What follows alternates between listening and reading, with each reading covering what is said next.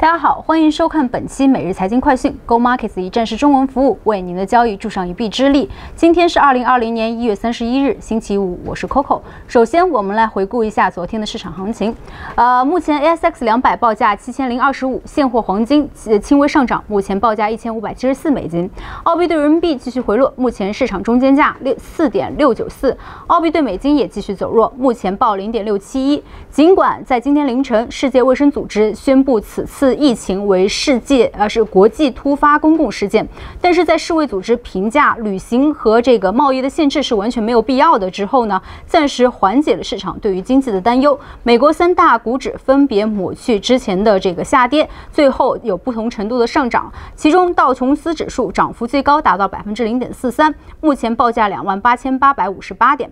那大家啊，最近也是非常关心这次的疫情，呃，并且呢，这次疫情确诊的人数啊，也已经超过了零三年呃非典 SARS 的确诊人数。但好消息是呢，前天啊，墨尔本大学的实验室成功培育出了新型冠状病毒，决定将决定未来的研究的疫苗是否有效。那今天呢，我将从呃呃从一部类似疫情呃的这个题材的美国科幻灾难电影《传染病》出发，来跟大家分享一些对针对此次新冠病毒不同的看看法和角度。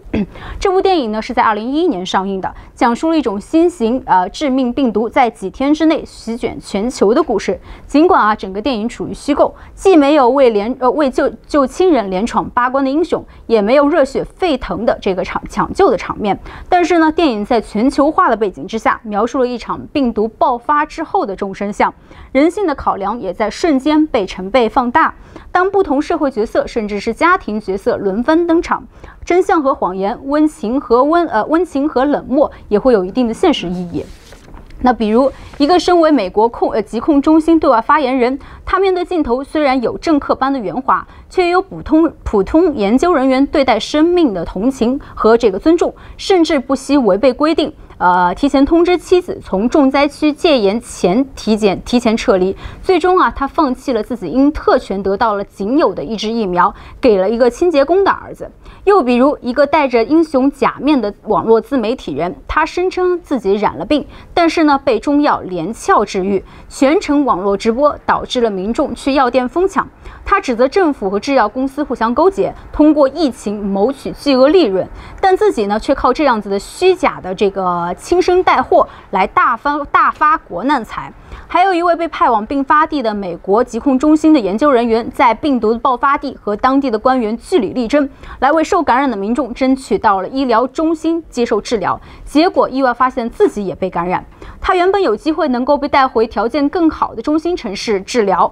结果被告知唯一一架有隔离舱的这个专机被某个受感染的华盛顿议员征用。最后他只能戴着呼吸面罩，在他自己争取来的医疗中心孤独从容地死去。这里我们回到刚刚说的这个澳大利亚培育出的新冠肺炎的病毒为什么这么重要？那首先我们来了解一下整个过程。那首先呢，要从这个病毒感染者样呃感染者的样本中分离出这个病毒株，筛选出合适的来生产疫苗的毒株。并且呢，呃，便于啊日日后生产疫苗时增殖培养病毒。那疫苗的种类呢有很多种，一种是咱们常见的减毒疫苗，是用来呃是用这个物理手段杀死病毒；另外一种呢也叫这个活病毒啊活活疫苗。是用基因突变型的这个疫病毒，让原本病毒的毒力下降，从而让这个健康的人身体产生抗体。在电影中，那个可怕的病毒啊，这个致死率达到了百分之二十五到三十，预计呢，全球十二分之一的人将受到感染。但我们都知道，疫苗疫苗从审批到找到合适的志愿者做人人体实验，再做观察，最后呃投入生产，至少需要半年的时间。那在这半年的时间，不知道会有多少人又被又会感染而。致命。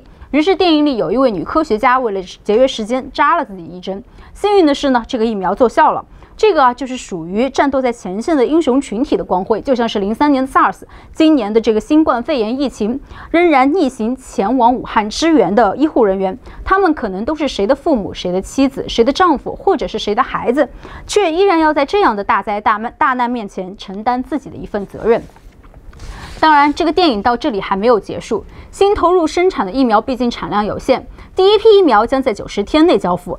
呃，全球这个病毒在当时已经夺取了全球二百六十万人的情况下，谁都想要先得到疫苗，于是又有了人面呃蒙面大汉入室抢劫疾控中心发言人的家。以为像这样的高管家里肯定会有很多疫苗，结果发现却一只都没有。世界卫生组织的工作人员又被绑架到了香港某个偏僻的小村庄，村民们，因为因为村民们想到了疫苗会有优先这个鄙视链，并以人质为要挟，要求获得第一批疫苗，结果最后发现得到了一一箱安慰剂。还有前面说到的谋取私利的网络自媒体，因为散播谣言误导民众，被国土安全局抓获抓捕之后，却为千万粉丝保释。出来，我相信这部以 SARS 非典为启发的2011年美国灾难科幻电影，能带给我们现实生活中呃无尽的思考和反思。如果谋取私利的狂人或者自以为了解真相的网络自媒体有了千万簇拥，他们的行为又有谁来监督呢？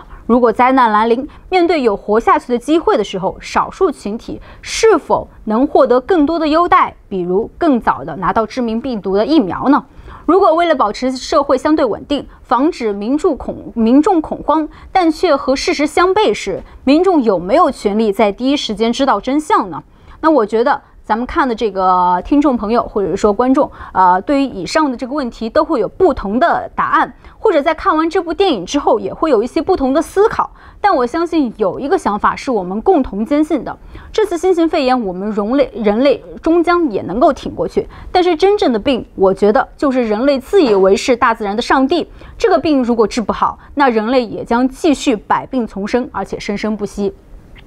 那这里呢，我们要跟大家啊，最后介绍一个这个股票，也是我们从去年年初开始一直跟大家介绍的一只呃澳洲的这个生物医疗公司，叫做 CSL。那从去年呢一百八十多美金涨到了现在三百一十多美金，呃，主要呢这个产品，呃，这个公司它被我们熟知的产品，像是这个血浆制品，比如人血白蛋白、人凝血因子等等，还有疫苗，比如是预防季节性的流感、预防禽流呃预防禽流感，比如说 H1N1、破伤风。宫颈癌、甲肝、乙肝等等，但是其中啊，其实 CSL 中有一个产品却被咱们忽略了，那就是进驻人免疫球蛋白。那这个是什么呢？进驻人免疫球蛋白，俗称井饼，是从大量健康人群混合血浆中分离得到的浓缩免疫球蛋白制剂。目前啊，这个治疗已经呃扩展到多领域的免疫替代治疗、抗感染、抗炎以及免疫调节治病，比如是白血病、艾滋病、乙肝、肺炎等等。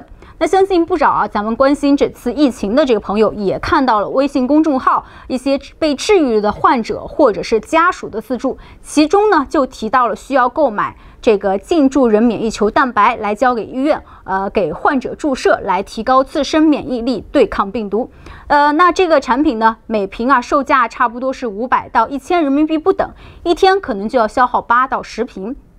尽管啊，截止目前为止，对抗这次新型肺炎的这个治疗没有特殊的这个特效药。但是呢，对于确诊患者治疗的药物有什么，却一直受到我们大家的关注。那在一月二十五号呢，北京协和医院发布了新型冠状病毒感染肺炎的诊疗建议方案二点零。那方案中呢，是肯定了静脉呃进驻人免疫球蛋白的呃疗效，并且啊，也提供了治疗剂量和治疗呃日程，用来规范全国各地的医院来诊疗患者。那根据二零一九年 CSL 发布的年报显示，CSL 的免疫球蛋白产品的销售额销售额在一九年上涨了百分之十六，达到了三十五点四三亿美金。但是呢，因为一九八四年受到全球艾滋病爆发的影响，中国限制了除白蛋白之外的这个血浆制品的进口。但是非常聪明的是，这个 CSL 在二零一七年通过收购一家武汉的生物医疗公司武汉中原瑞德百分之八十的股份进入了中国市场。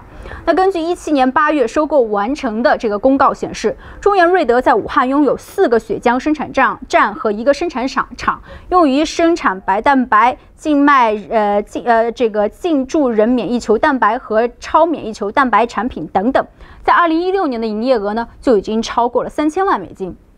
那根据二零一九年国元证券发布的这个四月份中国血液制品行业深度报告，目前呢，中国血液制品企业的第一梯队，像是这个天坛生物、上海来时。华兰生物等，它生产的这个净丙蛋白的浓度啊，只能达到百分之五。而像 CSL 它的这个生产的产品呢，Preven Prevision，它能够达到百分之十。根据 CSL 披露的财报，从二零一三年到二零一九年，我们能够看到啊。CSL 公司总体的盈利和净丙的销量呈现了一定的正相关性。那随着中国市场的打开，中国临床文献增加对呃这个进驻人免疫球蛋白产品的这个普及，以及相关医生的了解，这个产品呢，我相信会在接下来迎来更加持续稳定的增长，也会给 CSL 公司带来不错的收益。那当然也由衷的希望啊，像 CSL 作为这种顶尖的生物医疗公司，能在这场看不见硝烟的这个战场中帮助我们的医护人员研制、生产出更多有效的药品和疫苗。